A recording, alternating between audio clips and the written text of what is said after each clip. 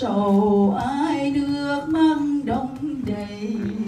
biết tìm ai người tri ngộ đu hồn trong suối thơ mơ màng, theo tiếng thơ. Câu hát phương nam đông đầy nước mắt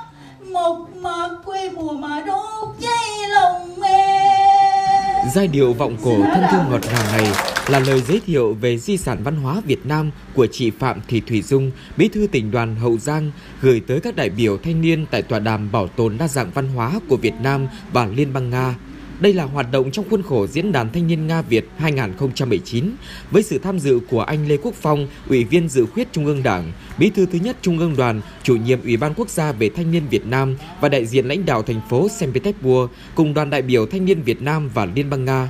Tại tọa đàm, các đại biểu đã nghe giới thiệu về văn hóa các vùng miền của Việt Nam và các hoạt động bảo tồn văn hóa truyền thống của thanh niên Việt Nam, trong đó có những văn hóa đặc sắc như đờn ca tài tử của Nam Bộ. Hôm nay tôi đến với chương trình à, giao lưu thanh niên à, Việt Nga à, và tham gia tọa đàm về bản sắc văn hóa thì tôi hát tặng các bạn Nga và các à, trong đoàn một bài hát là bài giọng cổ điệu buồn phương Nam. À, bài này à, à, nó thuộc à, hệ thống của đàn ca tài tử là một cái lớp giọng cổ và bài này nó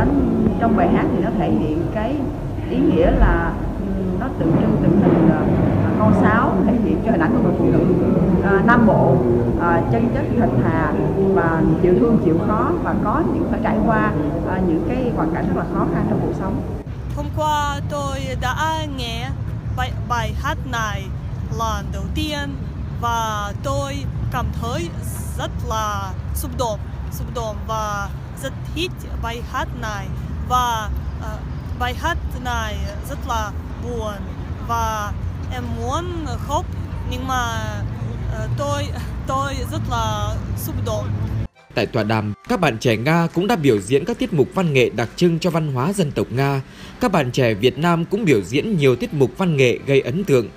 Tọa đàm đã đem đến nhiều giá trị ý nghĩa cho thanh niên Việt Nam trong việc bảo tồn và phát huy các giá trị văn hóa truyền thống.